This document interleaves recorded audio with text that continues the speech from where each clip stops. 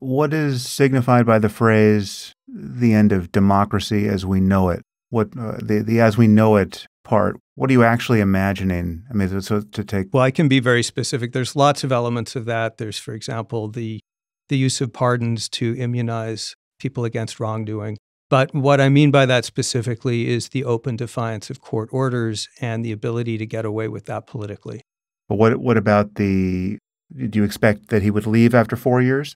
Oh, I don't know. Uh, he might or he, might. Do you imagine might an, an, our institutions are are so weak that even that could unravel? That there wouldn't it wouldn't Uh, be yeah, a twenty twenty eight election? Yeah, sure, it, it, it could unravel. But the immediate thing I worry about during a presidency. So here's how it unfolds, right? It's Robert Kagan had a a widely read article in the Washington Post saying, "Here's how we could get to Mussol- Mussolini under Yeah. Trump."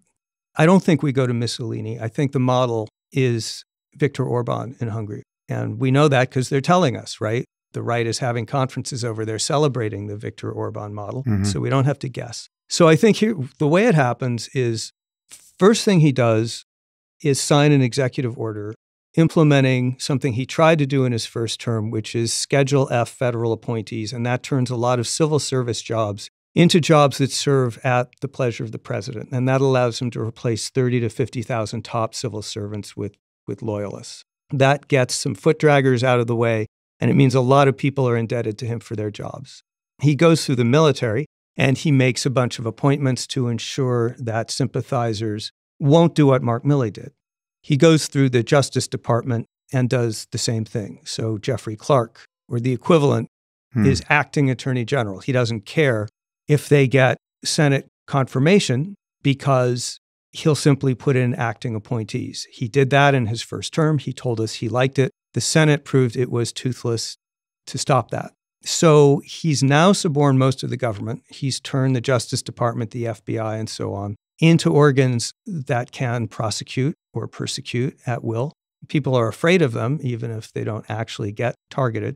He's done all that. And then along comes, you know, it's six months, seven, eight months, and along comes a court order that he doesn't agree with. Maybe it involves, I don't know, the border law, or unappropriation. Or maybe the Supreme Court says, look, you've had your temporary appointees in for too long. You have to send them up to the Hill for Senate confirmation or remove them, because that's what the law says. And he says, well, no, I don't feel like it, and tells his appointees to go to work as normal and tells the civil service and the Justice Department or wherever the appointee is, just do your job. This guy's in charge. What happens next? Well, if there's a large majority in Congress, they could try to cut off the appropriations for the Justice Department until he straightens this out. Do you think that's going to happen? Very unlikely. You could have thunderous denunciations by Democrats on Capitol Hill and the members of mainstream media, you know, Josh and John and Sam. Do you think he cares about thunderous denunciations? I think he doesn't.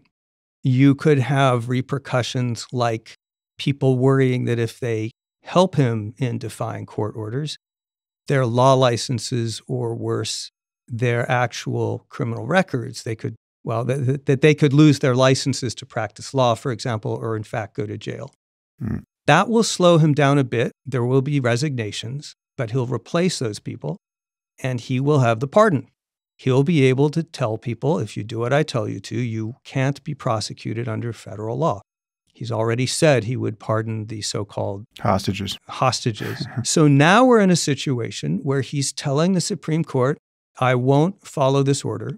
Meanwhile, the Republican Party, the, for example, maybe I shouldn't single them out, but the Senator Lindsey Grahams of the world, who are very bright people, are spinning a lot of arguments on, well, why he's really not defying a court order, why he has the right to do what he's doing in this case, why it's constitutionally supported, why the Supreme Court is nine people in robes who should not be governing this country, why the unitary executive doctrine does not give them that authority, why this was a 6 3 or 5 4 court decision.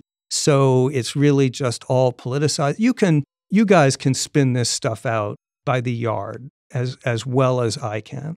So you'll have this spin machine in media and in the Republican Party backing him up and saying what he's doing is in fact fine, he's defending our democracy, and so forth. He'll defy another court order on a different subject. After a while, when it's clear three or four times that he can do this, it begins to be normalized, right? We've seen this pattern again and again. Sam and John and Josh continue to be shocked by this. And we keep saying, how can this be happening in the country we love? But most of the country is realizing that life doesn't change all that much. Gas prices don't go up if the president defies the Supreme Court. And in fact, they don't even know who to believe about whether he is defying the Supreme Court.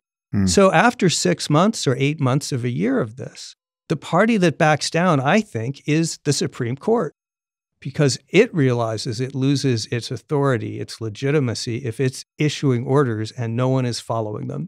So it begins to curtail its behavior in order to accommodate the president. And now mm. we're in Hungary. Now we have a president who has figured out how to game the rule of law in order to subvert checks and balances and the rule of law. So you tell me what is unrealistic about that scenario? And if the chief executive can defy the Supreme Court, does that mean the end of our liberal democracy, our rule of law as we know it?